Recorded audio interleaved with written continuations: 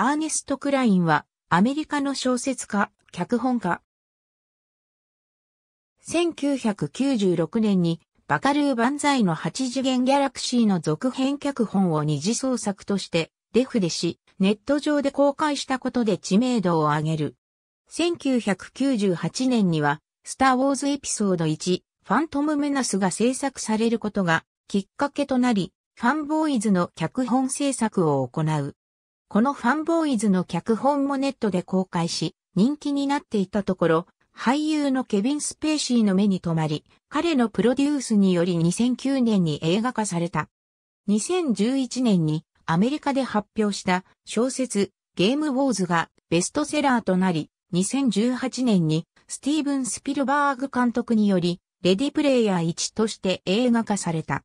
2014年にはザック・ペンラと共に都市伝説ビデオゲームの墓場の調査を行い ET をはじめとするゲームソフトを発掘した。そして発掘を題材としたドキュメンタリー映画当たりゲームオーバー当たりゲームオーバーを制作した。2016年に作家のクリスティン・アポトイッチと結婚。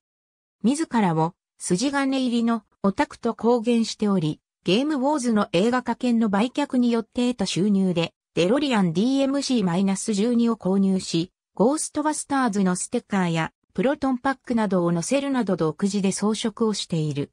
新日課で日本のカルチャーにも詳しく、70年代から80年代の日本のロボットアニメや、機動戦士ガンダムや、ゴジラシリーズ、ウルトラマンにも愛着があることを語っている。